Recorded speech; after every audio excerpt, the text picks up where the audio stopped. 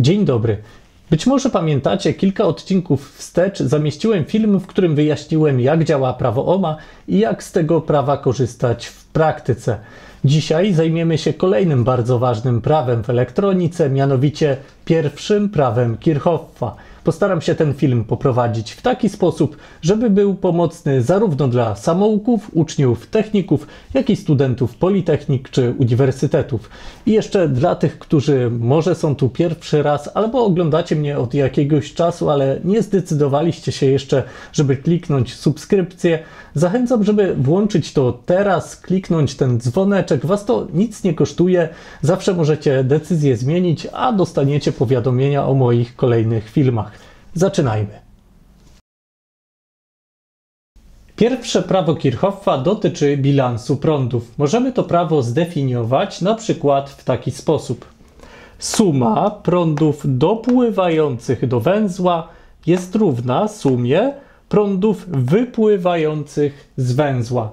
Można też spotkać troszkę inną definicję. Dla każdego węzła obwodu elektrycznego suma algebraiczna prądów jest równa 0. Tak naprawdę to i to to jest to samo, bo jeśli i4 i i5 przeniesiemy na lewą stronę, to otrzymają one znak minus i tutaj zostanie 0. Czyli to i to to jest to samo. Zobaczmy teraz, jak to wygląda w praktyce. Weźmy sobie na przykład taki układ. Mamy 5 diod elektroluminescencyjnych wraz z rezystorami połączonych równolegle i tranzystor, który steruje tymi diodami. I teraz z pierwszego prawa Kirchhoffa możemy zapisać suma prądów wpływających do węzła, bo tak naprawdę tutaj mamy jeden węzeł i tu mamy węzeł, bo to moglibyśmy narysować również w taki sposób. Tu jest VCC, tu jest ten prąd zasilania, tu jest dioda, rezystor, tu jest węzeł, tu jest kolejna dioda, kolejna dioda i kolejna dioda, tak? I tak samo za rezystorami. Wszystkie diody są połączone do jednego węzła. Czyli tu mamy jeden węzeł i tu mamy jeden węzeł. Suma prądów wpływających do węzła tego jest równa sumie prądów wypływających z węzła, czyli I1 plus I2 plus I3 plus I4 oraz I5. IC jest równe i zasilania, dlatego że tutaj mamy połączenie szeregowe, to moglibyśmy narysować również w taki sposób.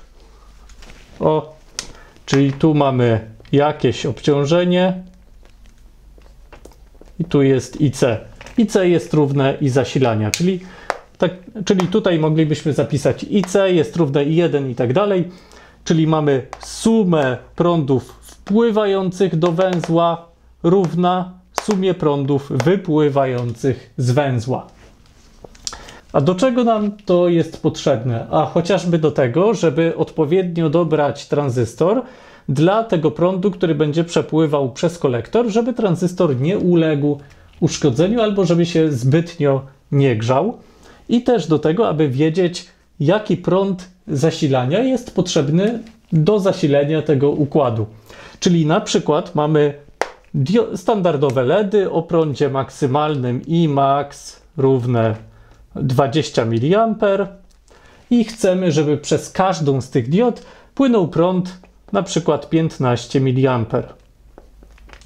Pięt, y, co ja zapisuję?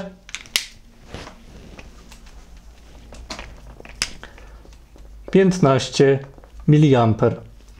E, tu jest I1, a I1 jest równe I2 równe m, i do I5. Czyli mamy wtedy IC jest równe ile? I tak samo i zasilania. I zasilania równe IC jest równe ile? 5 razy 15 mA, bo mamy 5 diod Sumujemy te wszystkie prądy, czyli mamy 5 razy 15 mA, czyli do zasilenia tego układu potrzebny jest prąd 75 mA. Musimy też dobrać taki tranzystor, przez który będzie mógł, przez którego kolektor będzie mógł płynąć taki prąd. A co jeśli połączymy diody w taki sposób? Mamy teraz i zasilania, suma prądów wpływających do węzła jest równa sumie prądów wypływających I1 plus I2, czyli teraz dla każdej z diod potrzebujemy 15 mA. Takim prądem chcemy zasilać nasze diody. W połączeniu szeregowym prąd płynie taki sam tu i tu, czyli I1 jest równe 15 mA i 2 też jest równe 15 mA, bo przez te diody też chcemy, żeby płynął prąd 15 mA, czyli mamy i zasilania już znacznie mniejsze, nie 75 mA, a 30 mA. I tak samo IC jest równe i zasilania.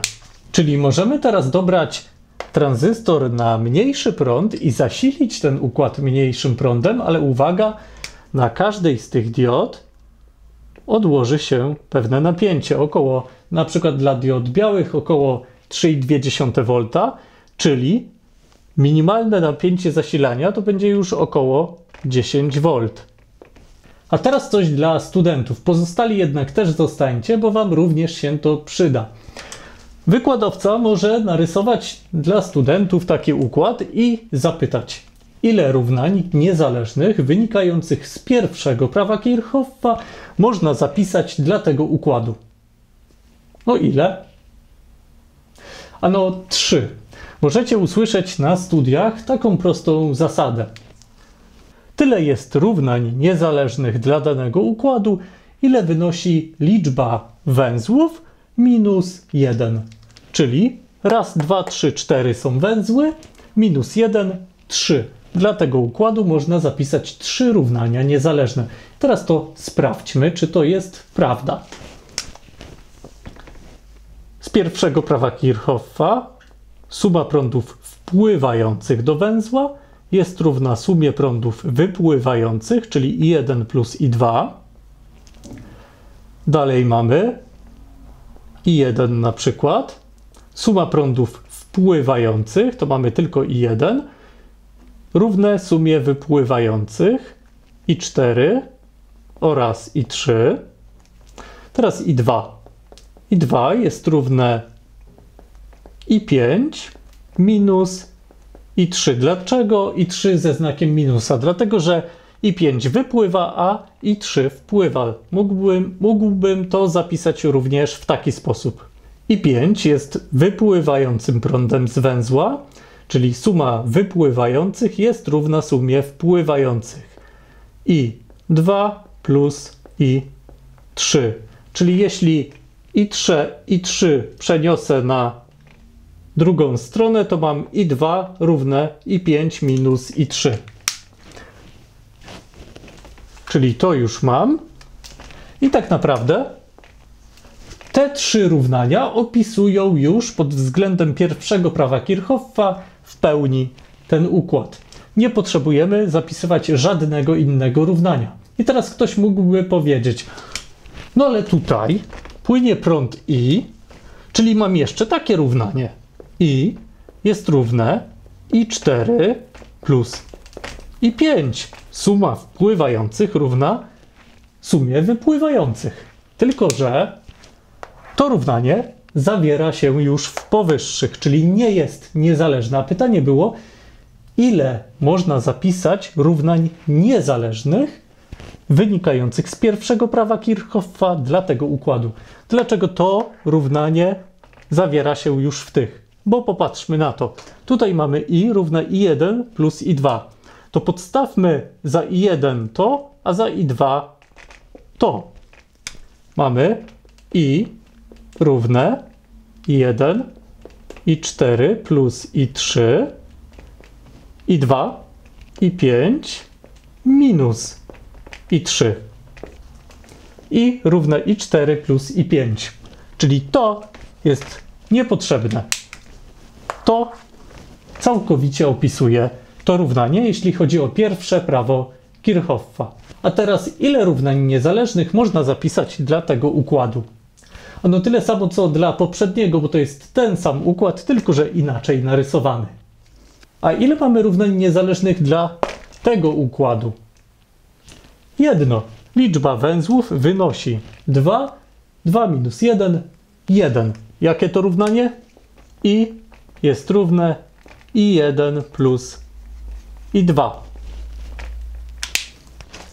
Wróćmy jeszcze na chwilę do poprzedniego układu. Któryś ze studentów mógłby powiedzieć, ale po co nam to wszystko, po co my mamy to liczyć, przecież do niczego nam się to nie przyda. Ano przyda się bardzo często. Zróbmy chociażby coś takiego. To jest ten sam typ połączeń, a taki układ spotkacie już bardzo często. Mamy tutaj IC, tutaj IE, tu prąd bazy, tutaj I1, tu I2, a tutaj I. Teraz z pierwszego prawa Kirchhoffa możemy zapisać IC jest równe I minus I1.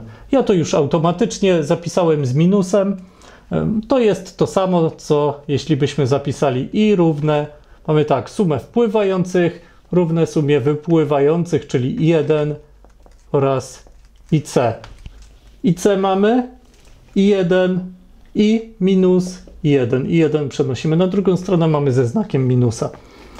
Dalej prąd emitera wynosi IC wpływa, IB wpływa, czyli IC plus IB. Prąd bazy I1 minus I2. Czyli mamy te trzy równania, które w pełni opisują ten układ, jeśli chodzi o pierwsze prawo Kirchhoffa. Jeśli będziecie projektować układy elektroniczne, to z pierwszego prawa Kirchhoffa będziecie korzystać bardzo często. Może z czasem nawet zapomnicie, że to się nazywa pierwsze prawo Kirchhoffa, z czego korzystacie na co dzień. Dziękuję za obejrzenie tego odcinka do końca. Napiszcie mi proszę jeszcze w komentarzu, czy e, było to dla Was zrozumiałe, czy, czy zrozumieliście to, co przekazywałem, e, czy może jednak coś było za trudne, albo e, o czymś nie powiedziałem, co chcielibyście się jeszcze dowiedzieć. Dziękuję i do zobaczenia w kolejnym filmie. Cześć!